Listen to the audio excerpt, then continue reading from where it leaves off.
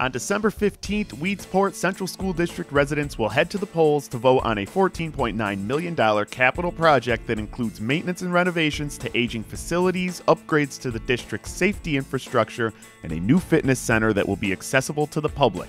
We began the process approximately 10 months ago, in which we engaged a number of the stakeholders in our community students, staff, parents, community members, board members administration, and we began to talk about some of the most pressing needs for our building and um, what would be best for the learners in our community and how to push them to greater heights.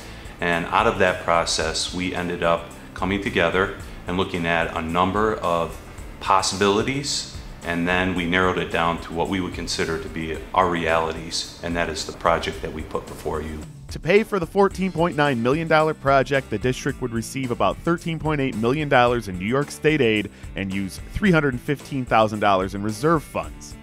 The remaining money would come from a one time increase of 0.21% in local taxes. One of the best things about this project is the timing. Due to the fact that the district has expiring debt, we can do this project with minimal impact on local taxes. We will be able to do all of this work with a one-time tax impact of 0.21% for almost $15 million worth of long overdue upgrades district-wide.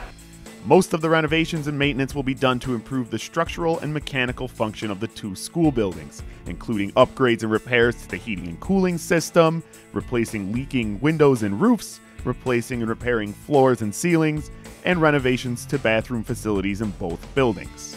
As an administrator, I also play a double role as I'm also a resident of the village of Weedsport.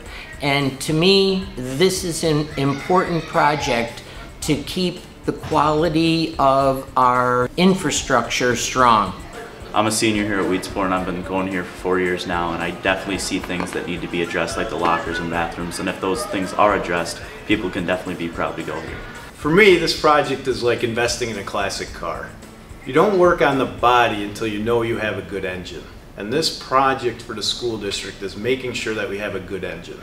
Additionally, the project will include resurfacing of the junior senior high school track, maintenance work at the transportation facility, and the creation of a state of the art fitness center at the high school for public use. Having a modern year round local fitness center will create a community health hub that offers a variety of exercise and conditioning equipment where people of all ages could come and support each other with meeting their own health goals.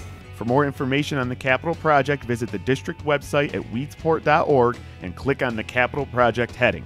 The polls are open from noon to 9 p.m. on December 15th at the junior senior high school. This project is not flashy. It really addresses our most pressing needs that we have in creating an environment that is the best situation for our learners and for our teachers. Just like any aging facility, it needs repair and it needs upgrades. And this project really aims at doing just that.